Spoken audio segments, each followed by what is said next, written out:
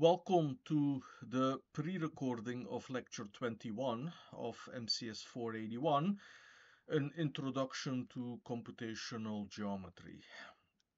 So at this point in the course, we have arrived at Voronoi diagrams.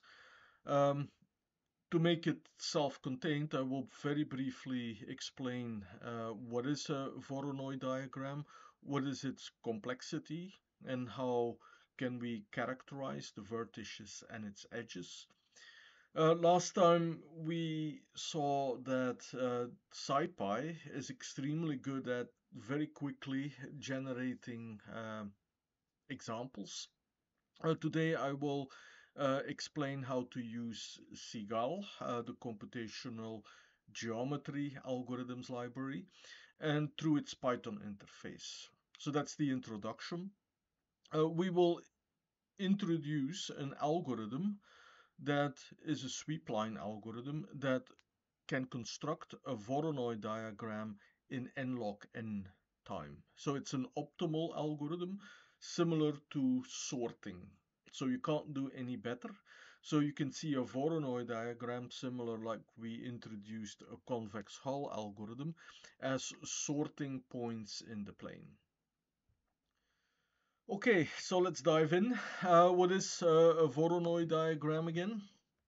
So the post office problem uh, asks to find the closest post office for each point in a plane. So here you see the Voronoi diagram of three sites. Uh, the sites are shown in black and every point in a region with the same color is closest to that black site in that region.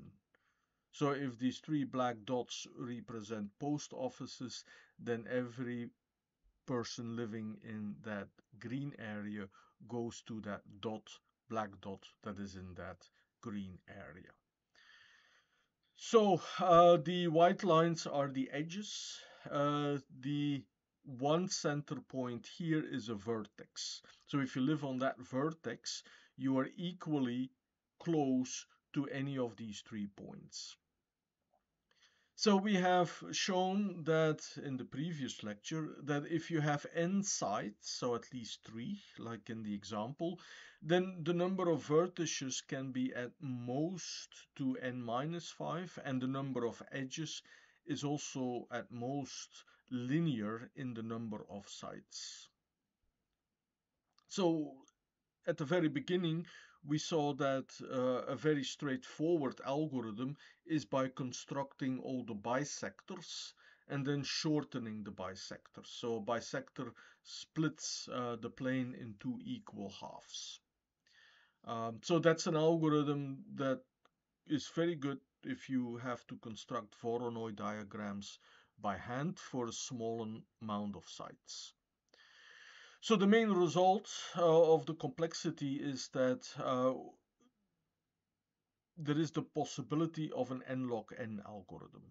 So the fact that the algorithm that we cover today is an n log n algorithm, we will prove this in the next lecture. Today we will introduce um, the algorithm. So there's one more uh, result that we need from last time. So here is uh, one cell shown of a Voronoi diagram. So what is shaded in green is the Voronoi diagram for the site at the point P1. So there are four other points. So you can see that there are four corners and four edges. So the corners of a Voronoi cell, also called the vertices of a Voronoi cell, they are at the center of a circle, a circle through three sides. And this is the largest empty circle that you can draw that is free of sides. So in some sense, this could also, this, this is an important characterization, but thinking of applications, instead of seeing these sites as sites that you would like to visit, uh, you could also see these sites as sites that you would like to avoid. So if you are at a vertex, uh, you also in some sense at a point uh, that is optimal in the sense that in this disk defined by the circle, there is no other side. For, so this characterizes the vertices. Uh, the edges are similarly characterized by circles. So you can think about now two sides. You have the bisector.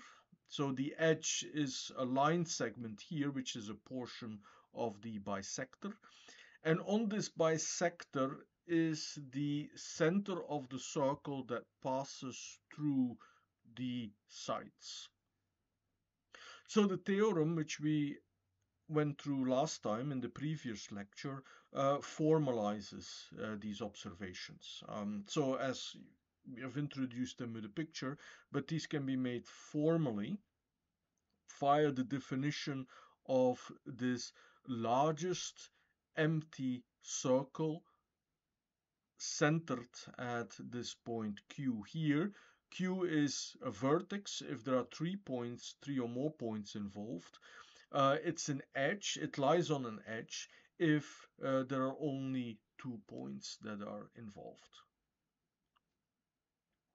Okay, so we will use uh, this classification for uh, the uh, this characterization of a vertex of a Voronoi diagram via this uh, circle. So this is important. So the proof is spelling out the geometric observation, but we will use this construction. Okay, um, so before we go into the mathematics, let's compute something. Uh, so I introduced last time the uh, SciPy uh, construction for quickly uh, generating as many Voronoi diagrams as you like. Um, we are also using the uh, CGAL library. Um, so here I took the documentation of the Python bindings and I kind I modified it slightly. So we have a simple set of sites, um, six points in the plane. Uh, the data that CGAL will compute uh, will be stored in a half edge structure. Um, so we introduced the half edges earlier in the lecture, but they appear again here. Um, if you want to get the information out of the computed Voronoi diagram, you have to work with queries. Uh, so you use the query point to each site to get the description of the face. So I will go to the posted Jupyter notebook. The first exercise with this lecture is to use uh, Matplotlib, which is very convenient in uh, for Python users and Python programmers. So write a simple code to actually plot all the vertices and all the edges. Okay, uh, so here it is. Uh, so this is the Jupyter notebook. Um, so the configuration of points is here uh, defined and also plotted. Um, so uh, plotting with Matplotlib, uh, you have to know the scatter command, um, separating the x and the y coordinates from the list of points. So you see uh, we have one square, um, the first four points define a square, and then we have two extra points if you remember the, different, uh, the definition of uh, a Voronoi diagram, then you will uh, immediately be able to draw the vertices. So you can here already draw in some sense uh, what you can do is that you can draw a diamond shape uh, shaped uh, Voronoi cell for the center point. Um, so um, the first exercise asks you to essentially write a matplotlib code for this. But uh, the coordinates are simple enough of the points uh, that we can uh, quickly compute uh, this Voronoi diagram ourselves. Okay, so here is the code, uh, what you need to know when you use CGAL. So I took the coordinates of the points and I uh, applied the primitive, so the kernel uh, point underscore 2 to it. So this is to make it in the data structure suitable for the input to the Voronoi underscore diagram underscore 2. Um, and that's essentially it. Uh, so computing a Voronoi diagram is feeding the input, um, the x and the y coordinates in these uh, point underscore 2 uh, data structure. So we will also use the uh, Voronoi underscore diagram underscore 2 underscore half edge underscore handle uh, to go through the queries. So if we are querying the Voronoi diagram, um, so remember the post office problem, we want to know uh, what is the post office closest to the current location. So we will locate and there are three possible cases. Uh, so you can be on a vertex, you can be on an edge, or you can be in a face. And the last case actually should not happen. So I wrote a very simple, well, I took the code that was posted um, as the uh, in the list of examples for the Swig bindings and I slightly modified it. Uh, in particular, I feel always uh, documentation strings are important. So here you can see for the first site, what do we expect? Well, the query point is in a face. Um, so the Voronoi diagram partitions or subdivides the plane into faces. So faces are the convex regions. Why again are they convex? Well, remember the bisectors define half planes and the intersection of convex regions, these half planes, is again convex.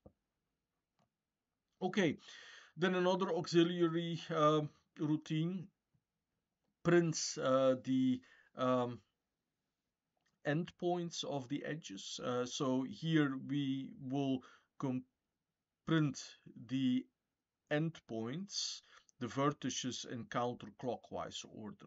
So typically we will only print the target point of every edge. So this is done here in this print vertices. So we will print each endpoint. So we start at uh, one edge and once the uh, next edge is actually if we are equal then we can break out. So we can cycle around uh, this convex region. So in some sense this looks complicated but it is not if you remember the convex hull algorithms. Uh, so every Voronoi cell is convex and uh, you a convex hull is described by uh, an ordering of the vertex points uh, here in counterclockwise order. So let's do this for the first query point. Um, so we have 50-50, so that's the vertex point that is computed and then we have another vertex point and that's a point at infinity. What this actually means that if you look at uh, the original sites, um, so this is a picture that you have to complete. So the point 50, 50 is a vertex point that is computed here. Uh, you see that it is at the same distance of four points. Uh, it's the center of the square. And we will have two edges. Uh, so actually the edges will be half lines. So you have everything that is on the line at uh, the first coordinate 50 and goes all the way to infinity going to the bottom and then we go to the left uh, at height y equals 50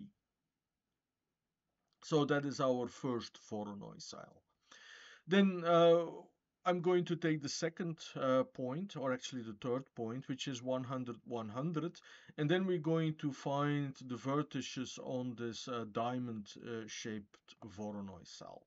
So that's the uh, last construction that is done here. So also the vertex 50-50 uh, is on that face, uh, so it's actually the last vertex that is printed. But here you see that due to the symmetric location of uh, the point set and also the nice coordinates, it allows us to verify the correctness of this construction. Okay, it's a good exercise. Uh, so at this point, um, so this lecture is self-contained. So even if you have not uh, looked at everything else that we have covered so far, then you should be able, if you are a programmer and what familiar with uh, Matplotlib and Python, you should be able to do this first exercise. Okay, I'm 15 minutes into this lecture. Um, and we have uh, our first exercise. Okay, how does CGAL compute this Voronoi diagram? Or how should you compute it?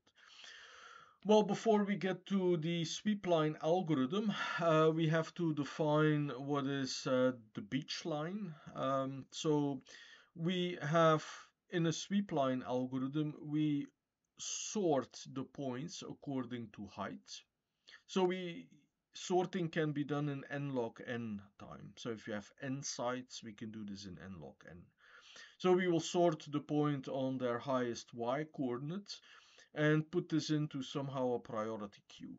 Um, then as the sweep line moves, so the sweep line is actually an imaginary line. It's represented by one number, which is the height of the sweep line. Then we imagine the parabola, so parabola is defined by a focus. The focus is here a site. So the sites become the foci uh, of the parabolas. So what is drawn here in red, uh, the beta uh, from the beach, uh, we have all the points that are at the same distance from the site pi here and uh, the sweep line. So what is important here is that this parabola separates the points. Uh, so the, the, the parabola again, what is a parabola? It's the set of all points at the same distance.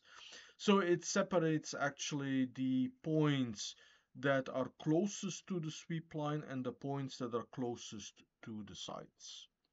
So what this means is that all points above this parabola lie closer to the site than to the sweep line.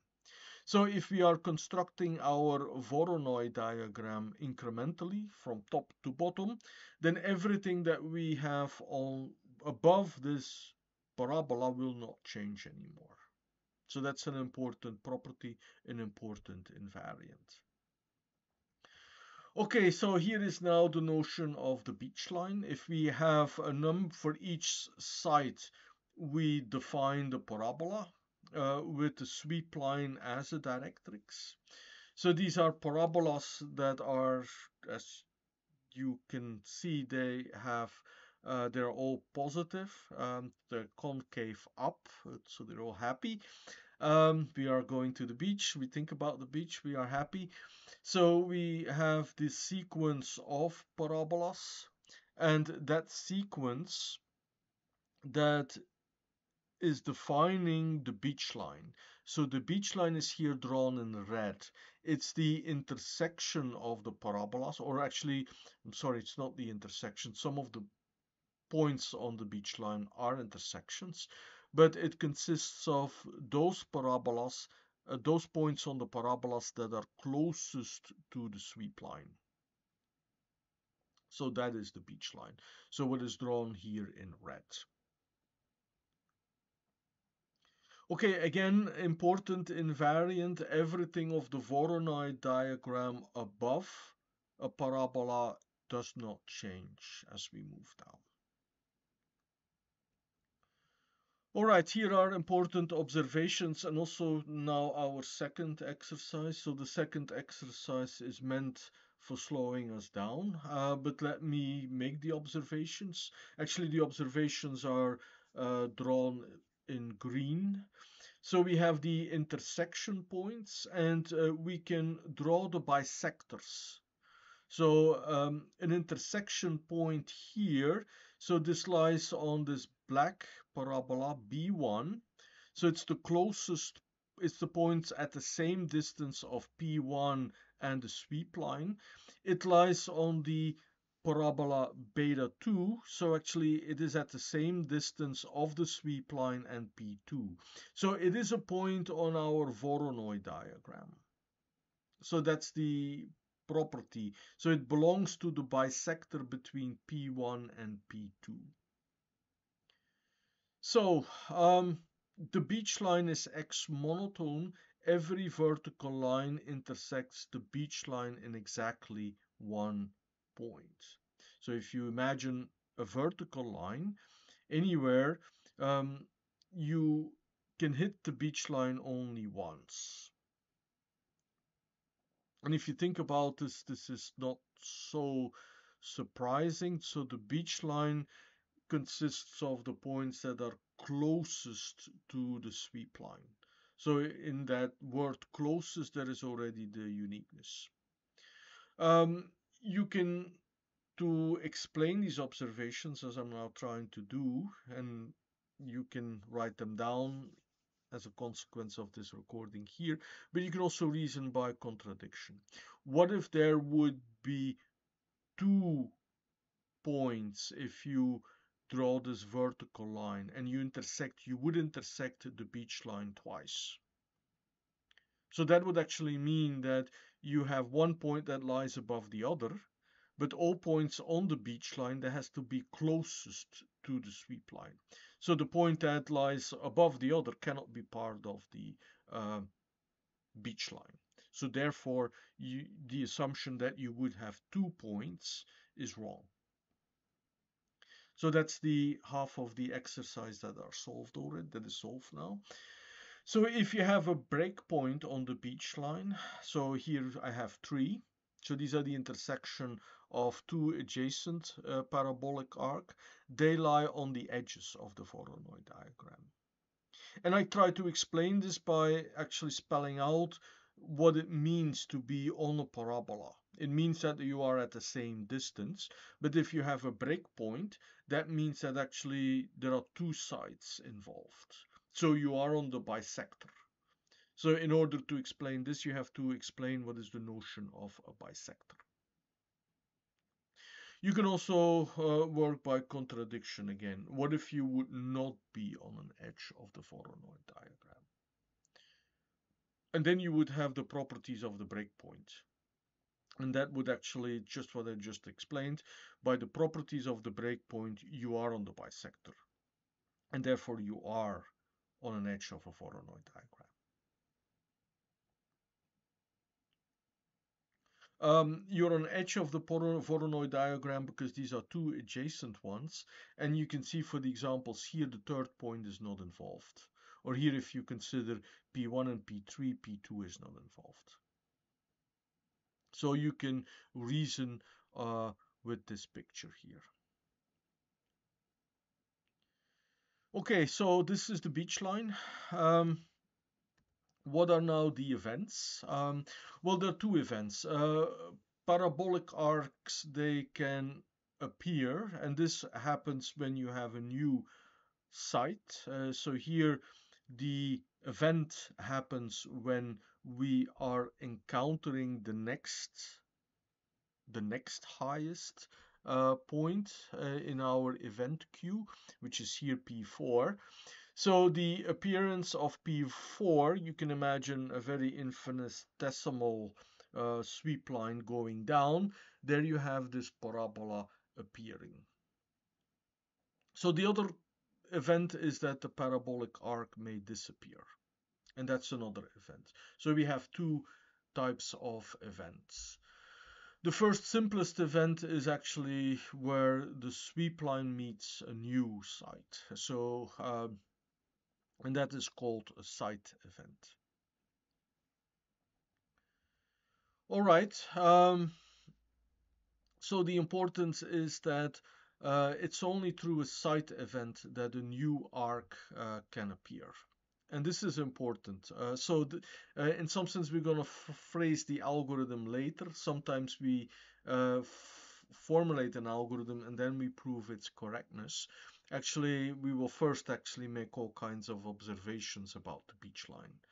And then since we have rigorously uh, understood uh, these properties, uh, the algorithm will actually follow. Um, okay, suppose that by contradiction, if you would like to uh, prove this statement, is that um, we have an existing uh, parabola that would break through the beach line. Um, and that is at some point um, it can define through a middle arc or it um, in, the, in the middle of a new arc. Uh, perhaps I should try to draw this. Um, so what do we have? I actually should start with we have an existing uh, parabola here and then we have a new parabola that breaks through. So that is the first type. Um, the other type is that uh, the parabola may break through in two um, in in between two arcs. Uh, so let me also draw this. Let me change color again so we have two parabolas and then we have a new parabola that actually breaks through. Okay, so uh, how will we handle the first case? Well, here it is. Uh, we can compute the equation of the parabola. And then uh, we have a new parabola coming in and we will compute these intersection points here. Let's do this. So in some sense it's a computational proof. Uh, so we will write down the equation for the parabola. So uh, this gives you, um, well, this is plain algebra going from the geometry. Um, the parabola is, because the sweep line is horizontal, uh, the parabola will actually be such that uh, the y square actually drops out. Uh, so we have y equals uh, an x square um, x term and then we also have a constant. Uh, so the uh, calculations here they are done with letters but they can be very done. So they're directly generalizing how you would do this with numbers expressing the fact that for any point Q with coordinates x and y, it lies at the same distance of the side pi. The pi has coordinates pix and piy.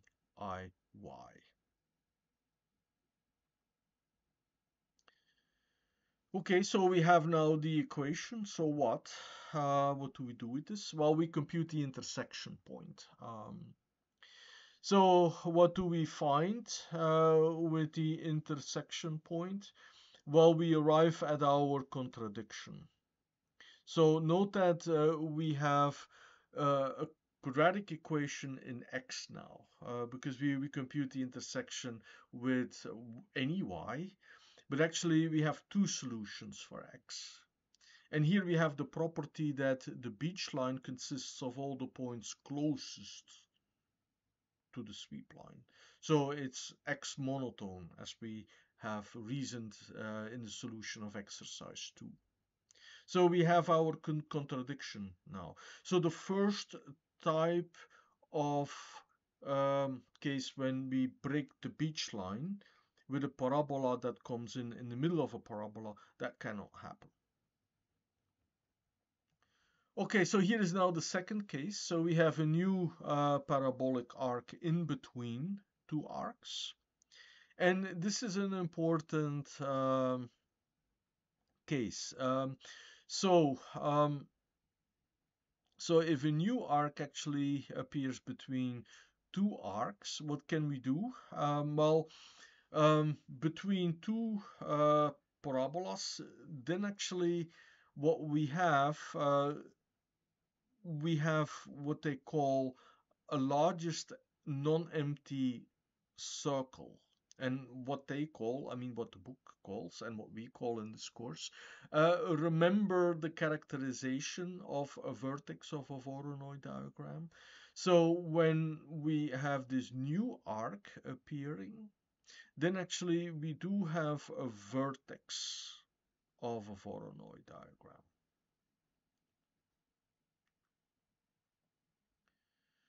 Okay, um, so as actually the sweep line comes down, um, if we actually keep uh, this uh, circle tangent, then actually at some point we will not have uh, a largest non-empty circle anymore because the site event points will become inside this largest uh, circle. But actually, this is something that uh, cannot happen by the definition of this uh, largest non-empty circle. So that is under the assumption that we have this point Q appearing without, uh, we, we have this new parabola appearing without any new site. So actually, that cannot happen. So we arrived also for a contradiction for the second case. Okay, uh, we are more than halfway in this lecture. I hope that you are still following this. Um, so the beach line is an important concept. Uh, we could, so that would be another uh, interesting programming exercise, make an animation even of this beach line, but that a, a, very nice visualization. So the algorithm is essentially uh, there. Um, so I gave the equations for the parabolas. Um, and for an example, you could uh, plot all the parabolas that are occurring for any given event, for any uh, given sweep line that goes through the uh, sites. All right, uh, I was distracted a little bit, so let me summarize uh, the lemma that we have just proven. So we have two types of event, a parabola appears or a parabola disappears. Uh, a parabola appears only through a site event. That's important. Okay, um, because there are endpoints, we can have at most n minus 1 splits after the first site. So you could have that the original parabola would be split at n minus 1 times. Uh, and actually I forgot to list this, but now I'm thinking that this could be another interesting exercise. Actually, we've seen this already with three sites. Uh, this example where you have 2n minus 1 so where the original parabola is splitted uh, so I can probably go back again. Uh, so here you have this already. We have three sides so ignore the fourth point. Um, well uh, yeah so if I I didn't stretch stretch it long enough. But you can see if I would stretch this uh, long enough then you would see and now I should use the color black. Um, so what we have here is that we would still have here another part. But you see you could extend this picture for one two three four five for three sides. So this is where you have the 2n minus 1 and that's the worst case that can happen so this is the worst case that can happen here. Uh, the 2n minus 1, I just showed that this bound is sharp for already three sides. Okay, um, circle events. So when do parabolas disappear?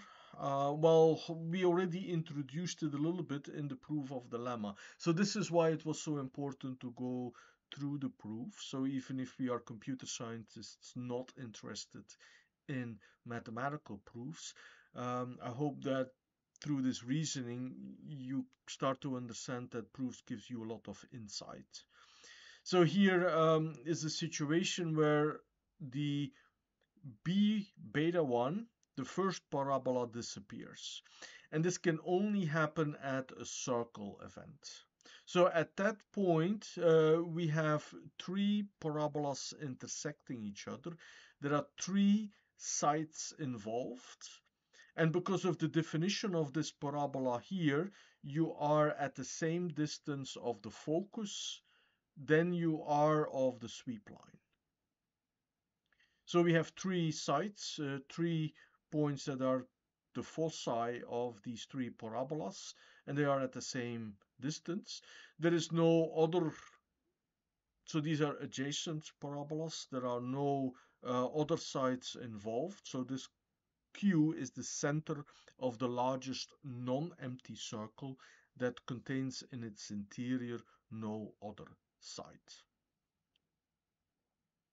And that again is a vertex. Uh, remember the characterization of the vertices of the Voronoi diagrams. Okay, what we just proved is that the only way in which an arc can disappear from the beach line is through a circle event. And uh, we have two types of events. We have site events and circle events. Okay, uh, we are getting closer and we are getting to the realization of the point where we can describe the algorithm. So what will we use? Uh, so we have the doubly connected edge list uh, that stores the Voronoi diagram. Um, in mathematics, we can work with points at infinity, but in practice, we actually work with a bounding box. When we sort the points, we have the upper and the lower uh, bound, but we can also look at uh, the left and the right to get um, the bounding box. Now, how do we represent the beach line? Um, well, we represent the beach line by a balanced binary search tree. Um, so a little bit similar to what we considered earlier uh, when we applied the sweep line algorithm uh, for the line segment intersection. So it's important somehow that we can uh, work with the adjacency. Um, I mentioned the priority queue earlier to store all our sites. Uh, the priority queue will also be used for the circle events. Um, so we can initialize the priority queue with our site events, but circle events are not known in advance. So exercise 3 can be done with CGAL. Um, but you can also do this by hand. So just there are five points. Uh, construct a bounding box um, and draw the doubly connected edge list. Um, also describe. Uh, so with describing, I mean uh, list all vertex records, list all face record, lists all edge records. Okay, that was another pause again with the exercise. Um, so now we have to, um, one more thing that we need to uh, prove before we get to the formulation of the algorithm. So we have our circle events and we have to make sure that uh, every Voronoi vertex is actually detected by a circle event. Okay, um, how do we detect uh, circle events? Um, so we have these disappearing arcs. Um, so for every for every vertex, uh, there will be a circle. Um, so if we consider the neighbors of the disappearing arc, then there are three sites involved. And uh, by just three points uniquely define a circle. Um, in a previous lecture, actually, I gave the algorithm. So if you use the bisector construction, you can actually construct the center of this circle. Um, and that circle event happens when the lowest point of that uh, circle touches the sweep line.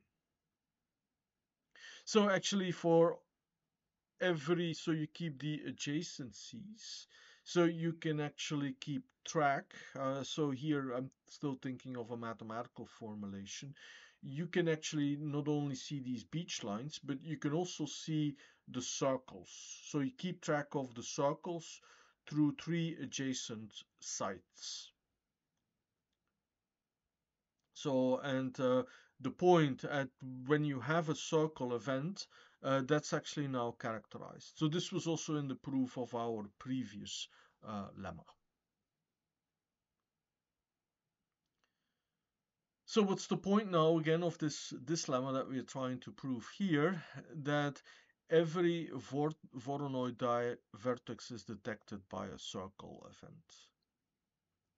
So, and uh, the way we detect this is by uh, keeping track of when the lowest point of such circle actually touches the sweep line.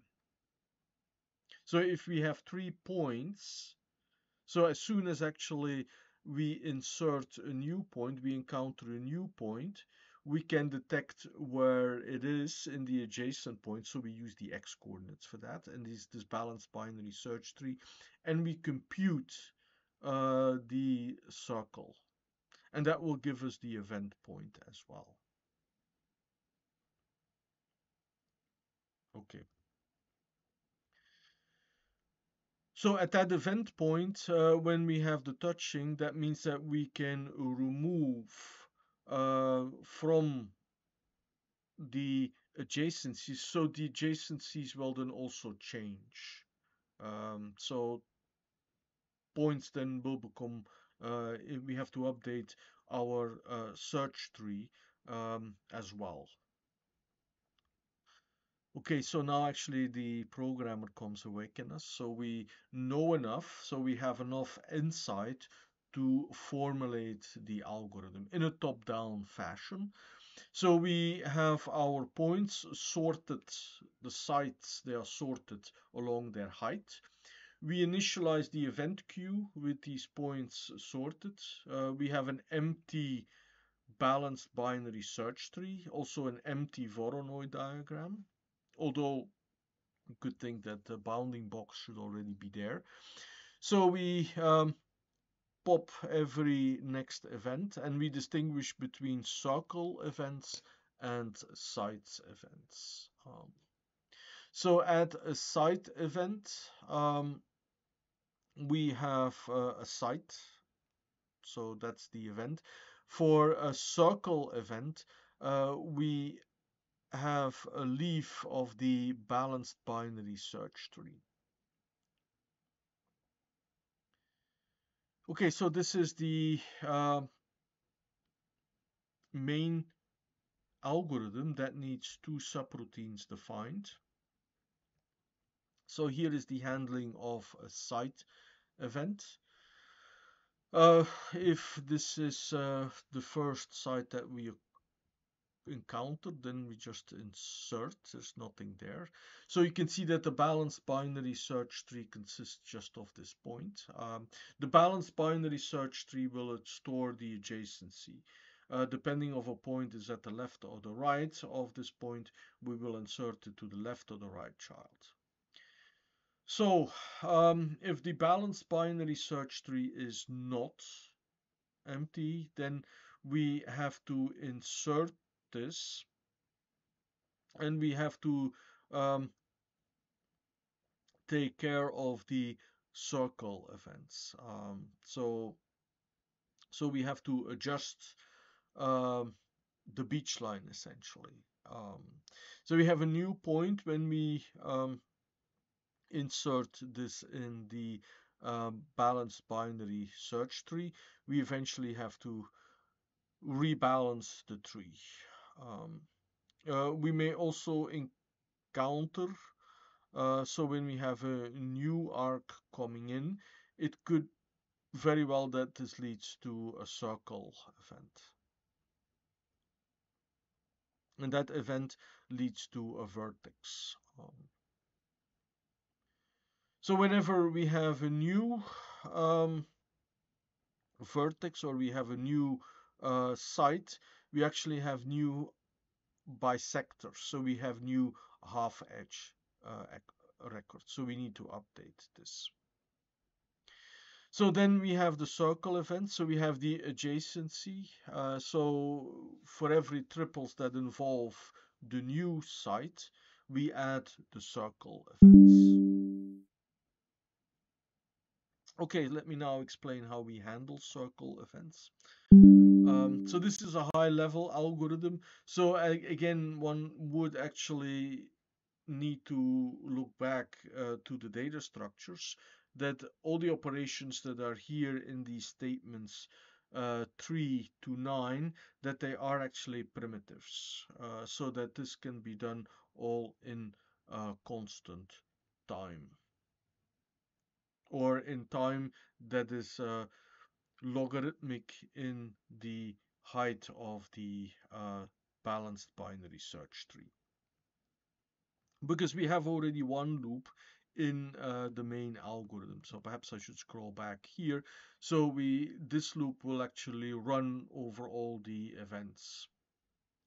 So we have the original sites and we also have the vertices, which are the circle events. So in some sense, rushing ahead to the n log n, uh, you can kind of see that the complexity of the Voronoi diagrams, the fact that we have a linear number of uh, vertices, there's also a linear number of circle events that that will lead to uh, that we execute this loop while not more than a number of times that is linear in the number of sites.